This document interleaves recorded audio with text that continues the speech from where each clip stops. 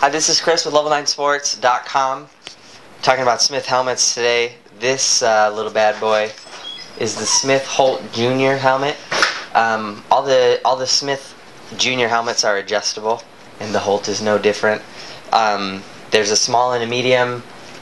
Basically, your kid's gonna fit into one of those sizes for sure. Just measure their measure their head right over their ear with a tape measure, and wherever they fall on the centimeter range, get them that size.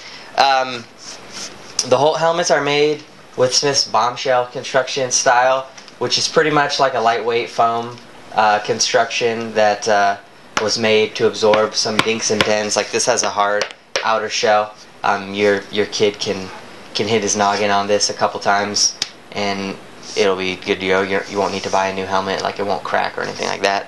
Um, the super light bombshell ear pads, which uh, are removable, but for kids, it's probably better to just leave them on because they keep them warm and they keep them happy.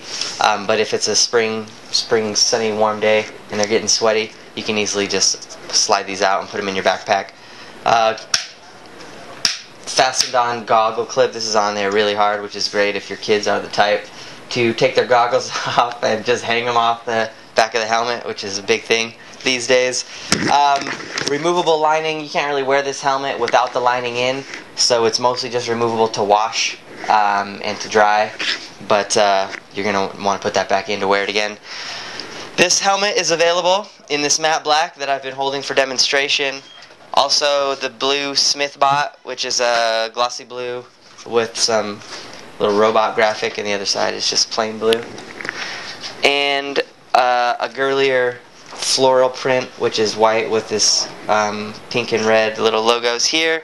And then the crazy kid one, which I don't even know how to describe this, but it's colorful and it's pixelated and uh, has a translucent outer shell. You can actually see the foam underneath. It's pretty cool helmet.